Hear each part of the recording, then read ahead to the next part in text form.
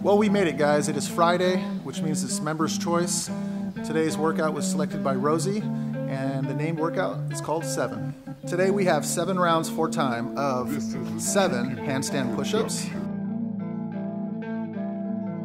seven thrusters, seven knees to elbow,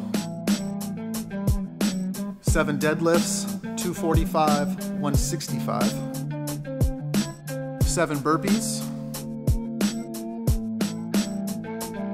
seven American kettlebell swings, and finally seven pull-ups. All right, I hope to see you guys later today.